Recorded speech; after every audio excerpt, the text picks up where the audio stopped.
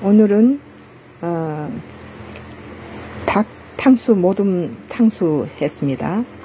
닭을 녹말가루에 튀, 긴 다음에 어, 여러 가지 야채와 만두하고 떡볶이를 넣어서 탕수 소스를 부었습니다.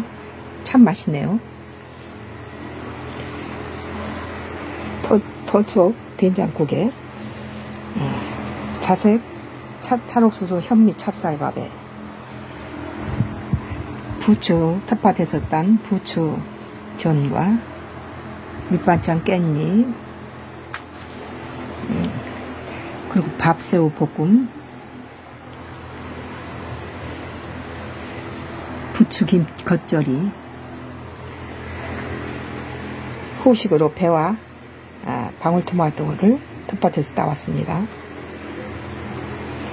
이것은 한 3, 40년 전에 만, 만든 노아의 방주라는 작품입니다.